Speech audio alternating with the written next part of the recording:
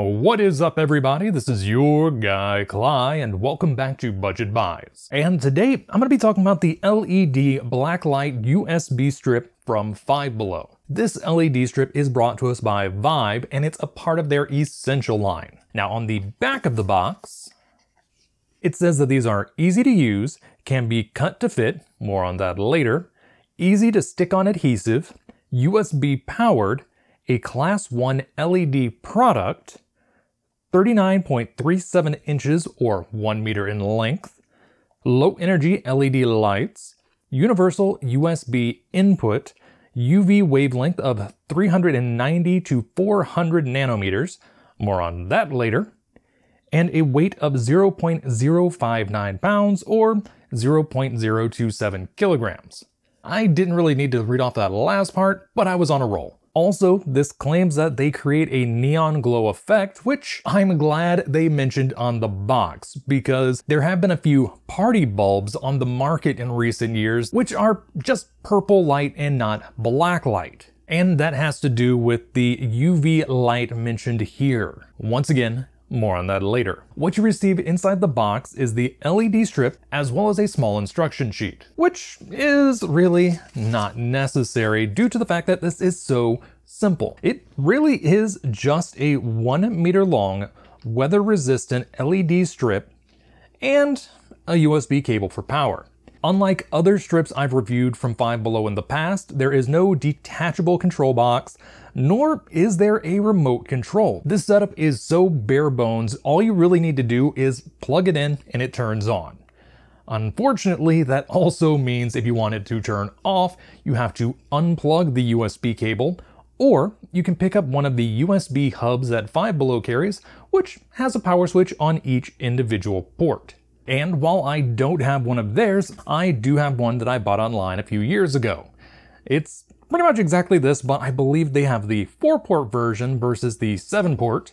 And as you can see, on each port there is an on-off switch.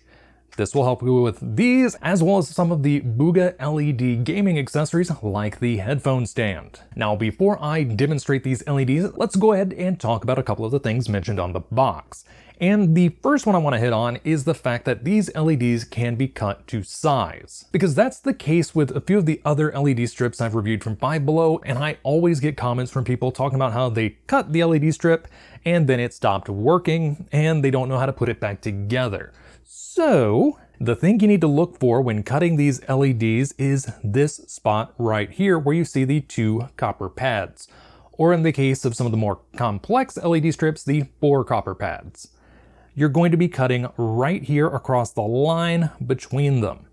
If you cut somewhere like here, you're gonna have a bad time. But if you cut here, the LED strip portion that is connected to the USB cable will light up just fine. If you want to join these back together after wrapping them around a curve or you just decided you don't want them cut apart anymore, you will need a soldering iron because what you're going to do is peel back the weather protection right here and then solder the plus 5V to plus 5V and the negative to negative. Now, while I don't have any of the LED strips that I've personally modified that way on hand, I do have an LED strip that I bought online where the manufacturer actually spliced multiple LED strips together in that manner. As you can see, this strip has the same style of copper contacts in between each of the circuits, and it even has a line with a pair of scissors going down the middle to show you that's where you need to cut. And what they did is just put a glop of solder on two different strips in order to join them together. So keep that in mind when modifying the LED strips you buy at Five Below. Now let's talk about that blacklight effect because that's really the main reason everybody's going to be buying this strip. What blacklight refers to is the fact that these LEDs output light on the ultraviolet spectrum, which is typically not visible to the naked eye. Though I should point out that most blacklights do sprinkle in a little bit of purple or violet to add extra punch. And when it comes to the type of UV light used for this, in this case we're talking about UVA which, as the box stated, is in the 390 to 400 nanometer range. So you don't really have to worry about any of the negative effects associated with ultraviolet radiation. That's reserved for UVB and UVC. I should point out that UVC radiation is being harnessed for good at the moment in the form of ultraviolet sanitizing lights. However, these fire at 100 to 280 nanometers. That means that you're not going to be sanitizing anything with this LED strip. However, if you're anything like me, you're still going to be getting a ton of use out of this LED strip, and I'm not just talking about your suede blacklight posters. I picked this up for 3D printing.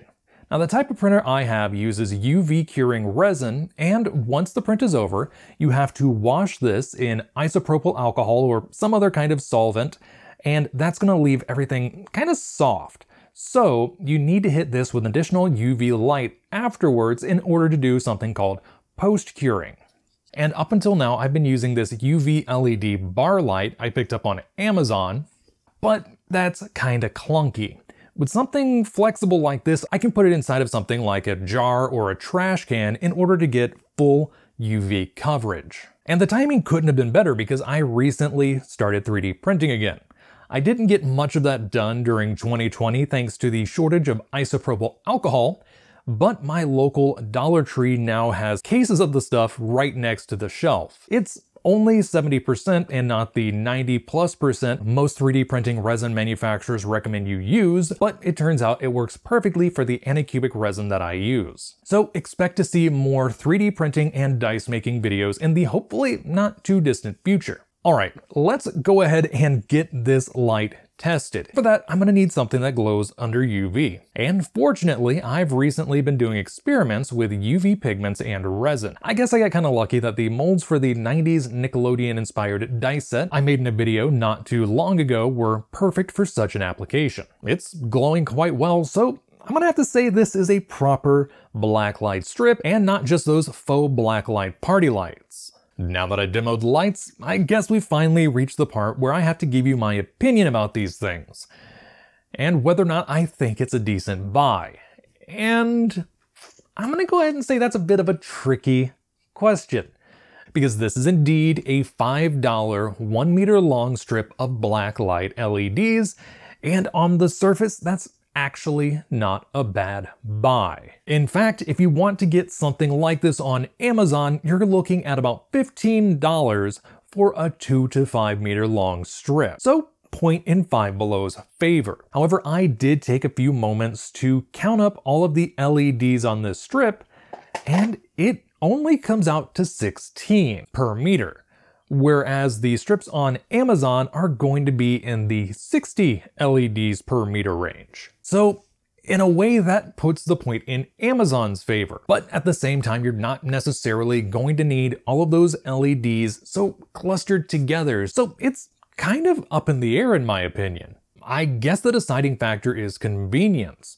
And in that case, this LED strip wins, simply due to the fact that as long as they're in stock, I can head down to my local Five Below and I can pick up one of these strips for five bucks. And Actually, that's another point in this strip's favor because I've not seen any UV strips on Amazon that come in at less than 2 meters for $15, which means that this is actually going to be more convenient to work with depending on your application. Though, at the same time, I guess you could just cut off the extra length on the Amazon strip, solder on half of a USB cable, and have two strips, but I'm still gonna put the point here. All of that is an extremely long-winded way for me to say that this LED strip is not that bad of a purchase depending on your needs. And on that note, this is your guy Cly signing off.